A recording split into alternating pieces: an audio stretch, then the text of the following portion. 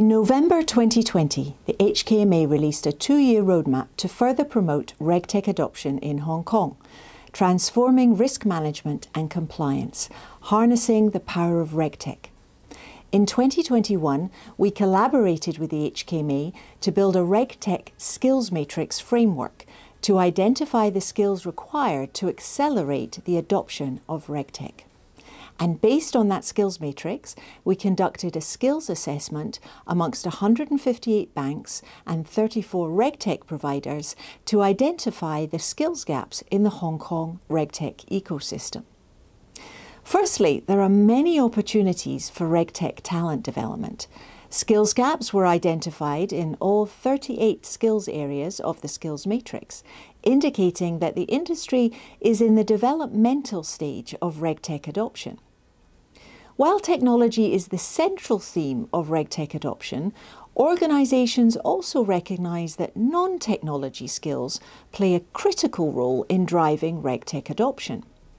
Among the 17 skills gaps, the top three are the skill to convert regulatory and business requirements into application controls and automated solutions, followed by process automation and collaboration skills.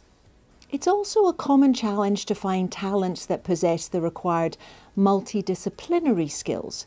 So, for example, the right combination of local regulatory knowledge, technology, and analytical skills, coupled with business acumen.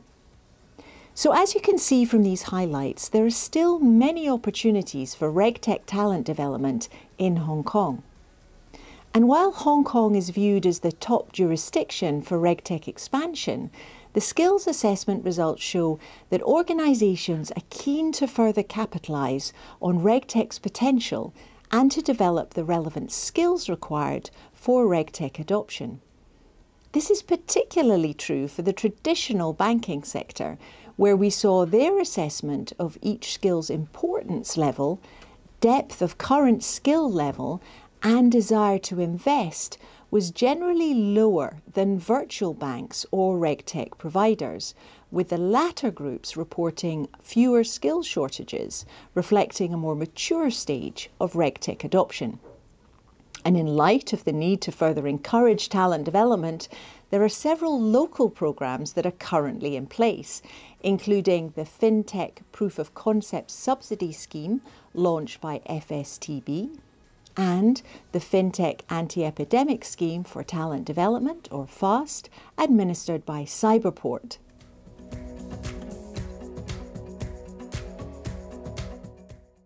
The Hong Kong Institute of Bankers has supported the talent development and training needs of Hong Kong's banking industry for more than six decades. In recent years, we have seen regulations and compliance in Hong Kong evolve to safeguard the assets of both customers and banks. Thanks to the technologies such as blockchain, cloud computing, and big data analytics, banks can adopt RegTech systems, which are driving a paradigm shift in the regulatory landscape. Against this backdrop, the shortage of dedicated talents is a significant barrier to RegTech adoption in the Hong Kong banking sector. Banks not only need more talent, but also the right talent with the relevant skills and knowledge to support the adoption of RegTech.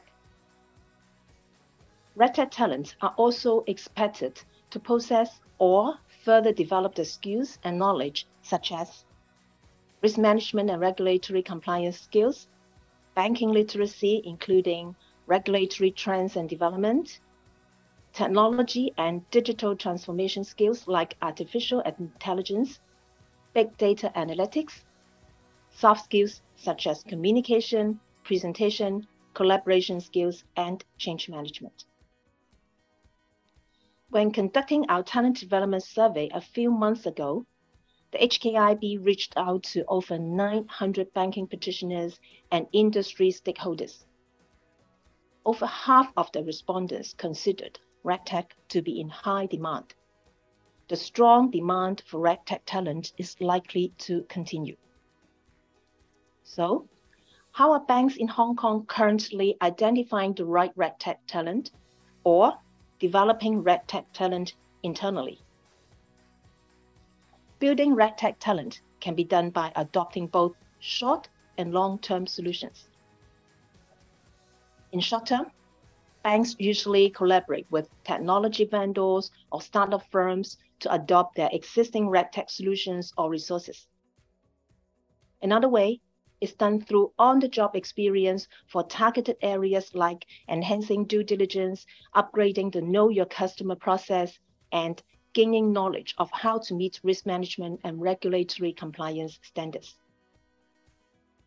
In the long run, it is important to build a sustainable structure in nurturing homegrown talents. We should reserve dedicated time and budget to upskill and reskill current practitioners. For example, through the Enhanced Competencies Framework on FinTech program launched by the Hong Kong Monetary Authority. Bank's senior management should encourage banking practitioners to embrace continuous learning. Also, local universities to help offering more talent programs to students to pursue in the banking industry and building the future talent pool. Let us now transition over to Douglas, who will speak more about the importance of nurturing young RegTech talent from a university's perspective.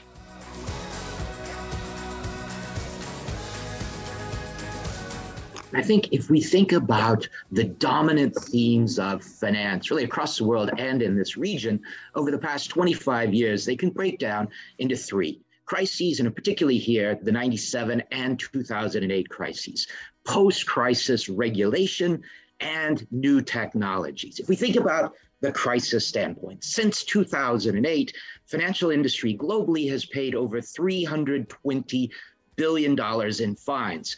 If we look at regulation, we have had massive regulatory changes after 97 and again after 2008. That has made compliance one of the fastest growing segments of human resources employment in financial services to the point where today, globally, the financial services industry spends somewhere between 300 and 700 billion dollars a year on compliance. Finally, from the standpoint of technology, we've seen a long-term process of digitization. Finance, technology, regulation are intimately interconnected. If we look at that compliance spending, approximately half is on technology. And if we look at total global technology spending in the financial sector, it's about $600 billion a year the context of Hong Kong, we're very strong on finance, and universities have played a key role in supporting financial education, as well as, particularly since 97, legal and regulatory education. We're a bit weaker from the standpoint of tech. While universities have often delivered tech graduates, the key challenge has been a lack of knowledge of tech in the regulatory space and a lack of knowledge of finance and regulation in the tech space. And I think going forward, the big challenge for universities is to bring those pieces together in interdisciplinary degrees at the undergraduate, postgraduate, and online level, and team building across technology and regulation.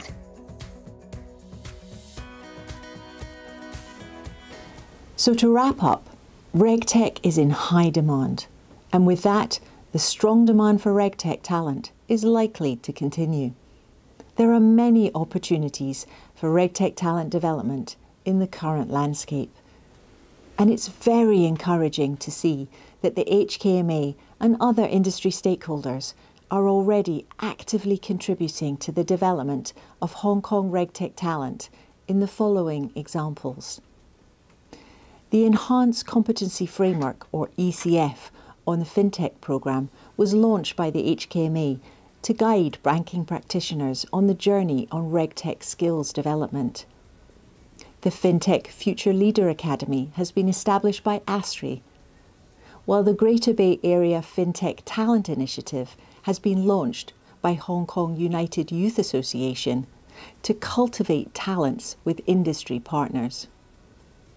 It's important that all stakeholders in the RegTech ecosystem continue to encourage RegTech talent development.